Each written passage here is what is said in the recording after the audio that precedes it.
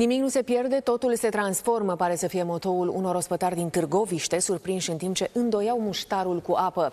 Câțiva trecători au filmat în acțiune. Confruntați cu imaginile, rudele proprietarului spun că totul este o neînțelegere. Una care a costat 5.000 de lei după vizita comisarilor OPC.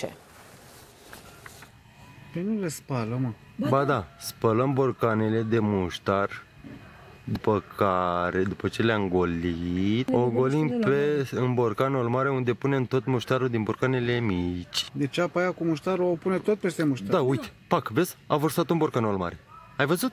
Într-o demonstrație de alchimie dâmbovițeană, angajații terasei reușesc o minune. Din câteva borcane folosite de muștar, creează unul nou nouț. Câțiva cetățeni vigilenți filmează întreaga scenă și comentează. Spală-l mai bine că mai rămasă pe fundul lui fiar mama să fi. Și de la lume să mănânce. Și pe omul să întreabă lumea de ce mă doare stomacul, de ce am făcut bube la gură, de ce m-am iritat. Așa mulțesc cu unele terase muștarul. Combinația 2017 la români. Confruntați cu imaginile, angajații terasei se apără.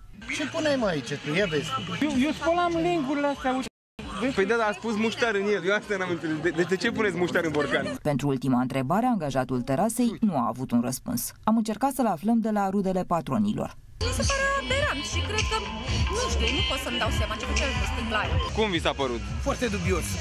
Pare ceva dubios, nu? Da, pare normal și mie mi se părea dubios. Patronii au dat asigurări că muștarul reciclat nu ajunge pe mesele clienților. Nu, nu, nu alunge muștarul, cred că a spălat borcanele alea să-și pună murături în ele, sigur. Vor fi cele mai scumpe murături din istorie și asta pentru că imaginile au ajuns și la inspectorii OPC care au amendat terasa cu 5.000 de lei. Angajatul surprins în timp ce dilua muștarul va fi concediat, spune patronul.